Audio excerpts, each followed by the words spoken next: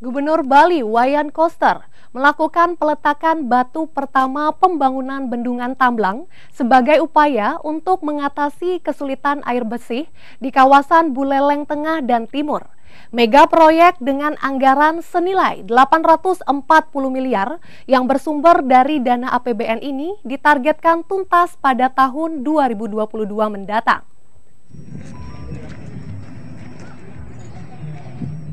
Mega proyek pembangunan bendungan Tamblang yang berlokasi di perbatasan Kecamatan Sawan dan Kecamatan Kubu Tambahan telah dilakukan sejak tahun 2019.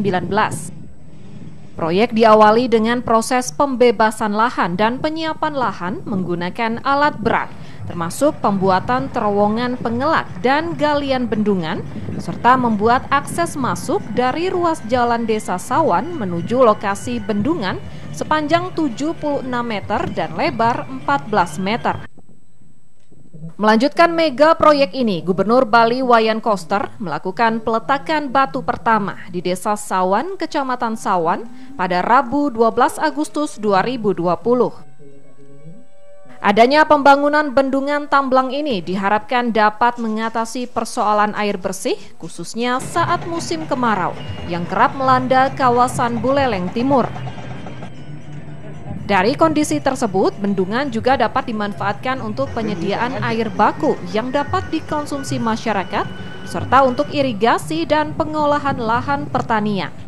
Penyediaan air baku yang akan dikonsumsi uh, oleh masyarakat sebagai air minum, kemudian juga air untuk pengairan, uh, irigasi dan uh, dalam untuk mendukung berkembangnya industri di wilayah terutama industri yang berkaitan dengan pengolahan pangan dan juga industri lainnya.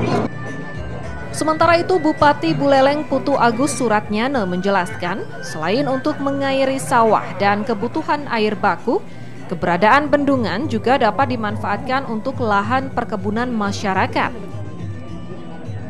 Ini yang paling penting buat uh, bendungan ini kan untuk keberadaan bendungan agar mau Basir kita sudah bisa menganggarkan sampai 760 miliar lebih ya untuk bendungan ini ya jadi saya diskusi dengan BWS misalkan dalam 4 tahun ya dalam 4 tahun sekarang progresnya 21 persen akan dikerjakan selama tiga tahun dengan sistem kontrak.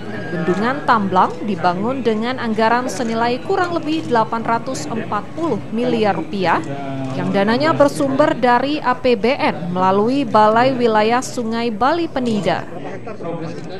Bendungan dibangun dengan tinggi mencapai 68 meter, akan memiliki kapasitas tampung air mencapai 7,6 juta meter kubik yang saat ini baru mencapai 21 persen.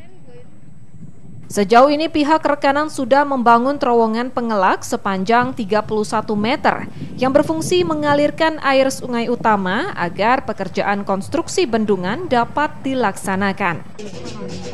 Dari Buleleng, Pandewismaya iNews melaporkan.